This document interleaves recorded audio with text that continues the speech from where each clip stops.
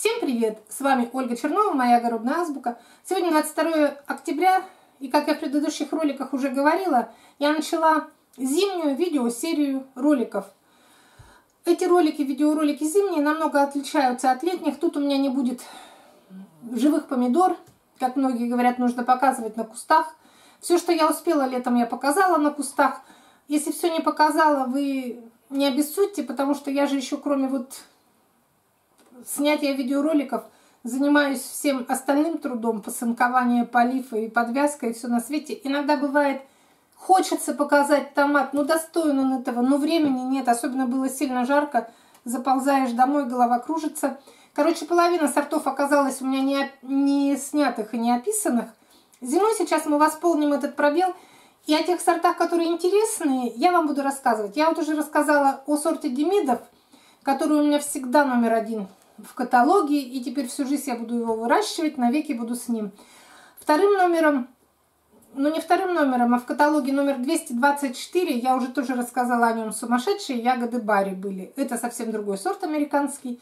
И вот третий видеоролик, который я сегодня сниму, на сегодня это будет последний, будет томат Фиделио. Многие о нем спрашивают, потому что это сорт довольно-таки новый. И я расскажу вам про него, потому что история его возникновения очень интересная. Он новинка не только в моем огороде, вот нынче был, ну, новинка вообще на томатном рынке. И я писала статью про него, в группе в Одноклассниках есть. И там я говорила, что большинство сортов, которые я выращиваю по несколько лет, я знаю о них все.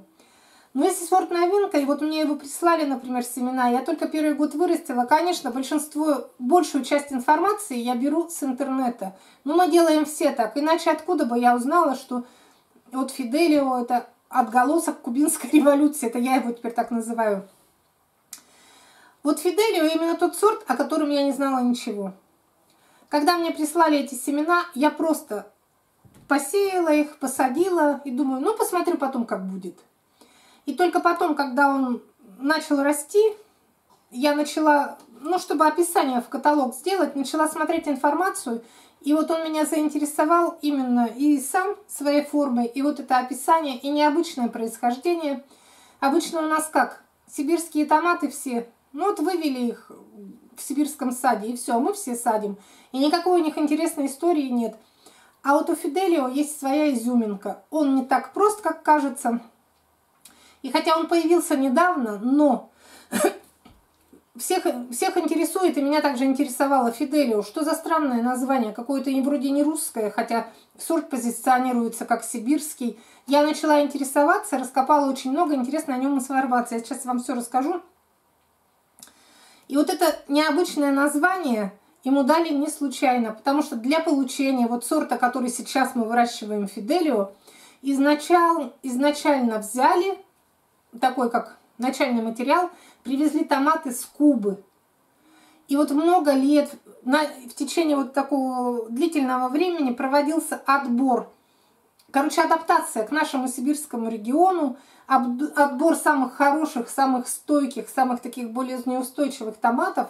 И вот когда селекционеры проделали вот такую длительную работу, получился сорт Фиделио. Но так как его изначально брали с Кубы, то, конечно, назвали его в честь вот этого лидера кубинской революции Фиделио Кастро.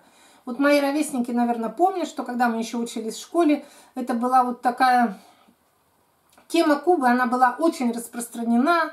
Молодежь пели песни, Куба далеко, Куба рядом, Куба в душе, значки выпускались, все, короче. С кубинцами мы вроде как дружили, даже каких-то кубинских детей привозили, вот, которые там пострадали от войны, потеряли родителей, я это еще помню. И вот, оказывается, вот этот томат, который был назван в честь вот этого революционера, это и есть вот наш сейчас Фиделио. Он теперь сибирский томат стал, но с этими, с такими с кубинскими корнями. И вот что получили они в результате? В результате вот получилось вот это удачное совмещение – приобретенных качеств и врожденных. Приобретенное это то, что вот его заставили жить здесь, в сибирском регионе, то, что его как насильно приучили к холодам, к длительным похолоданиям, вот к таким к неблагоприятным условиям. И, но в нем осталось вот те южные корни, которые помогают ему пережить еще длительные периоды засухи. И это получилось такое удачное совмещение, что наш томат, получается, что он вроде бы и к сибирской погоде адаптирован, но он еще и оставил те свойства, которые очень важны, то есть хорошая завязываемость при высокой температуре. А это очень важно, особенно нынче у нас вот летом жарко. Все же многие знают, читаем интернет, знают, что при высоких температурах, особенно в теплице, начинаются, ну как стерильность пыльцы или что это, вот это вот, что томаты цветут, но не завязываются. И вот в сорте Фиделио, благодаря вот этим вот корням кубинским, где он рос, конечно, в более жарких условиях, в нем осталось вот это качество, у него высокая завязываемость в любое жаркое лето. Все. Дальше, еще что про него можно сказать? Сейчас.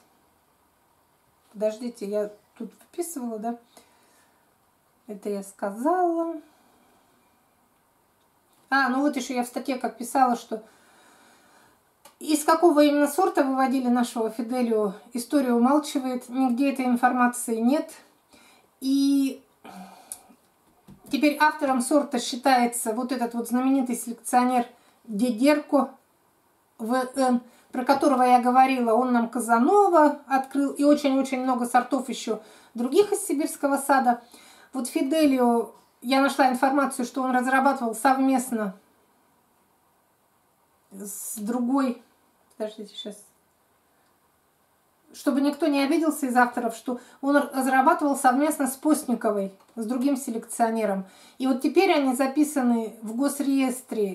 Этот сорт уже как сибирский сорт вот от этих авторов. Ну и бытует, конечно, мнение, что многие сорта сейчас и у сибирского сада, у других, что это именно как слизанные, позаимствованные ну, из-за границы многие даже пишут, что вот они привозят, никаких там селекционных работ не проводят, просто этот сорт начинают выращивать, семена берут, называют, дают другое название. Я про это ничего не знаю. Я думаю, что никто точно об этом не знает. Но вот есть у нас Фиделио. Действительно ли он взят прям копия с кубинских томатов? Или что-то, какую-то работу все-таки они многолетнюю делали, как написано – я думаю, это не нам судить, мы никогда об этом не узнаем. Но факт остается фактом. У этого томата кубинские корни, записан он авторство Задидерка и Постниковой. И вот этот Фиделио, он очень быстро распространился, вероятно, людям он все-таки понравился. Я всего выращивала один год. Я не могу судить, какой он очень такой уникальный, который и в жару, и в холод. У меня он хорошо вырос нормально, по вкусу он, ну, такой же, как напоминает он и формой напоминает, как бычье сердце, розовый, сердцевидный. Он не очень крупный, такой средний. Я его получила тоже, брала не в магазине. Прислала мне Куш, Кушнер Александра из города Зея, Амурской области. Сорт не коллекционный. Если вы хотите попробовать этот сорт, его можно купить в магазине. Он сейчас, говорят, что продается везде, потому что семена сибирского сада по всем регионам торгуют. Если о характеристиках, то это индетерминантный сорт. Может быть и в открытом грунте, и в теплице, но он не очень высокий, он примерно полтора метра, как его описывают все другие и производители. Ну, конечно, я его в теплице не выращивала, в открытом грунте у меня был полтора метра. Ну, значит, в теплице около двух метров вырастет. Потом, что еще? Ну, конечно, как всем индетерминантам, ему нужно посынкование – Ему нужна подвязка, формируют обычно в два ствола, как все томаты. Вот я в открытом грунте формирую все в два ствола. Это среднеспелый сорт, если по срокам созревания. Урожайность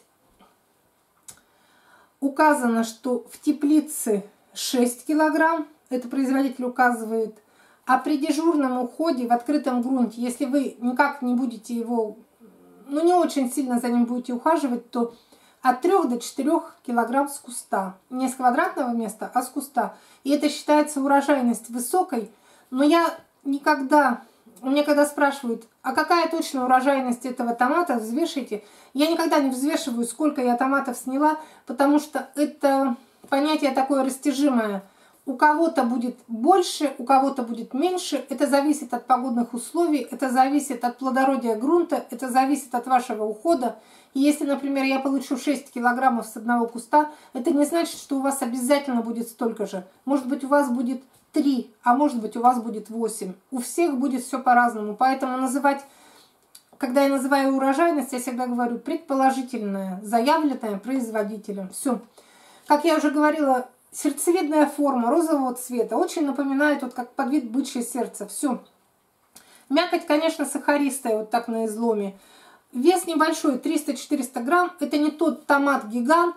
Это вот такой среднячок. Да, он средний вес, салатовое назначение, салатное назначение. Вроде бы по всем описаниям он обычный, все. Но проверять его, конечно, как он себя поведет в особо жаркий, в особо жарком климате или в особо холодном, это можно только на протяжении многих лет. Я вас просто знакомлю что томат Фидоли, Фиделио вот такой. Это новинка. Еще очень мало о нем отзывов. Но, по крайней мере, никаких негативных отзывов о нем нет, как о банановых ногах, например. Вот разрекламировали, а есть нечего. Он обыкновенный, вкусный, мясистый, вот такой крупноплодный томат, сердцевидный, розовый. Как все розовые томаты, вообще розовых томатов не бывает, вот чтобы сильно кислый или невкусный. Они все вкусные, и Фиделио тоже вкусный. Все, до свидания.